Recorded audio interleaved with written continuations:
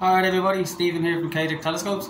Today we're going to head over and open up a Star Adventurer 2i from Skywatcher. Uh, you can see a pair of them on the shelf there behind me. Um, very popular grab and go track and mount and um, very popular with the DSLR crews. So let's head over and we will get it opened.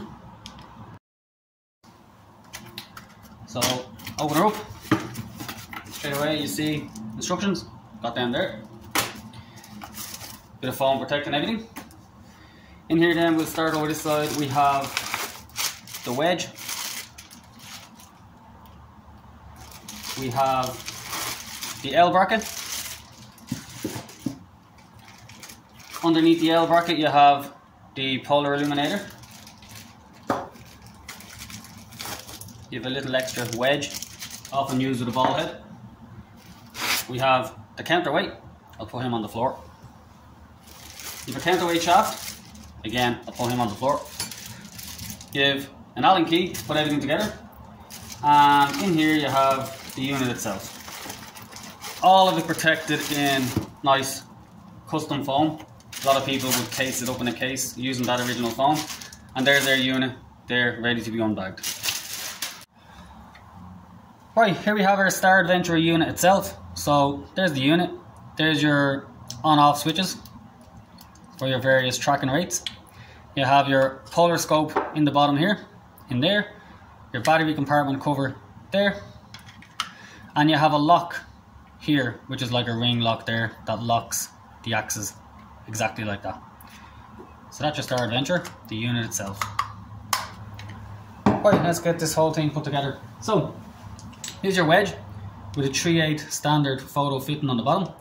Get that connected to your tripod. Just screw it in. There's a T-bar on the tripod. At this stage now, it's best to tilt this up to something like 53 degrees if you're in Ireland. So on we go. There's a scale on the side there. We'll just get it up to somewhat the correct area. That's in there. Make sure he's locked, not too tight. Next thing, we get our Star Adventurer. So here he is. Um, you'll have that 3 8 to quarter adapter in the bottom of it there. Screw him out and keep him safe because you may need him at some stage. We then have our plate. Now, there's a recess on the bottom of the Star Adventurer here and there's a little thing sticking out in there. So make sure they match up, get them tightened in.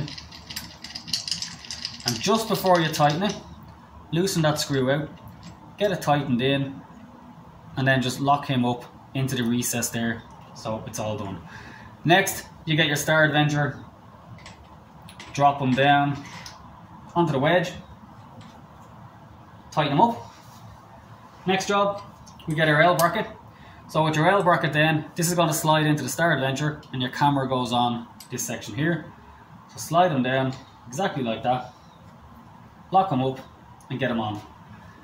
Your counterweight shaft then, that screws into the bottom here like that. And your counterweight just slides up onto the shaft, exactly like that. And that's just our adventure pretty much put together, ready to be used.